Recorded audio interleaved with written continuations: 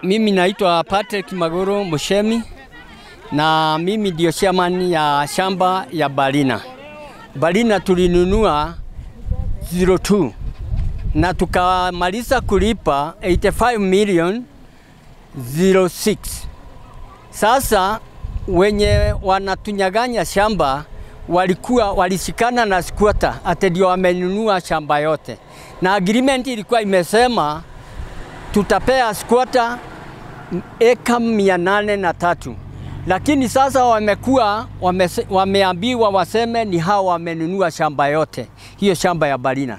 Tulinunua kwa msugu 85 million na tukamaliza 06 na stu, sasa wakarudi wakafanya ugaidi, wakasema hata kwa bank ate iko trustee, na sasa makaratasi yote ya kulipa shamba iko hapa. Hii shamba ni letu kwa ukweli wa Mungu, hata mbinguni inashuhudia. Sasa tunauliza tuko Kenya gani? Kwani sisi ni wa Tanzania?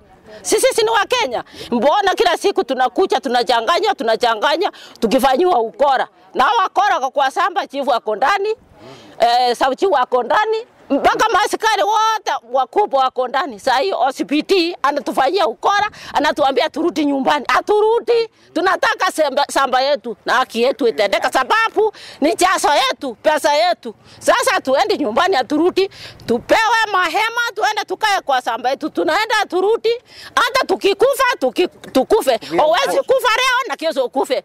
Ukikufa unakufa safari moja.